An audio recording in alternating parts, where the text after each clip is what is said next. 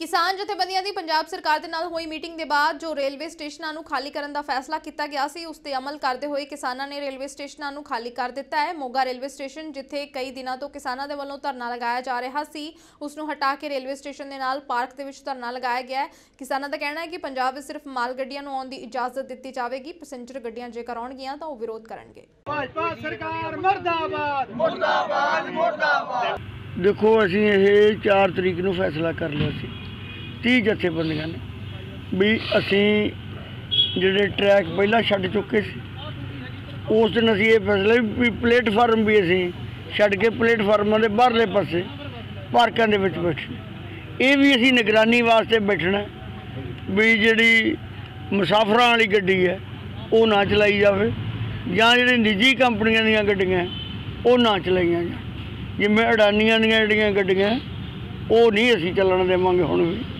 ਅਸੀਂ ਜਿਹੜੀਆਂ ਗਵਰਨਮੈਂਟ ਦੀਆਂ ਗੱਡੀਆਂ ਤੇ ਗਵਰਨਮੈਂਟ ਦੇ ਟਰੈਕ ਤੇ ਚੱਲਣ ਦੇਵਾਂਗੇ ਮਤਲਬ ਉਹਨਾਂ ਸਾਡੇ ਲਈ ਖੁੱਲ੍ਹ ਹੈ ਕਿਉਂਕਿ ਇਹਦੇ ਨਾਲ ਸਾਡਾ ਕਿਸਾਨਾਂ ਦਾ ਵੀ ਨੁਕਸਾਨ ਹੈ ਸਾਡੇ ਪੰਜਾਬ ਦੇ ਸਨਅਤਕਾਰਾਂ ਦਾ ਵੀ ਨੁਕਸਾਨ ਹੈ ਜਿਨ੍ਹਾਂ ਨੇ ਹੌਜ਼ਰੀ ਦਾ ਸਮਾਨ ਬਾਹਰ ਭੇਜਣਾ।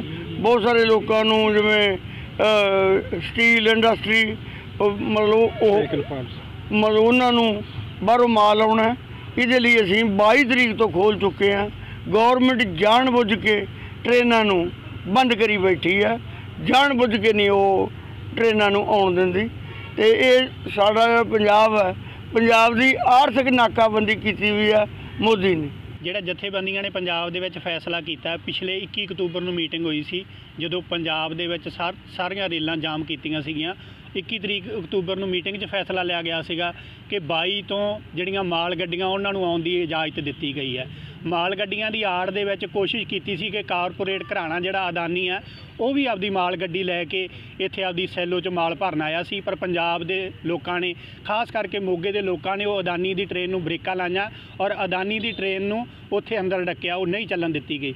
ਹੁਣ ਜਥੇਬੰਦੀਆਂ ਨੇ 4 ਨਵੰਬਰ ਨੂੰ ਫਿਰ ਫੈਸਲਾ ਕੀਤਾ ਕਿ 20 ਨਵੰਬਰ ਤੱਕ ਆ ਜਿਹੜੀਆਂ ਟ੍ਰੇਨਾਂ, ਜਿਹੜੀਆਂ ਮਾਲ ਗੱਡੀਆਂ ਉਹ ਚੱਲਣਗੀਆਂ ਔਰ ਇਹਨਾਂ ਚੱਲਣ ਦਾ ਮਤਲਬ ਇਹ ਨਹੀਂਗਾ ਕਿ ਅਦਾਨੀ ਆਪਦੇ ਸੈਲੋ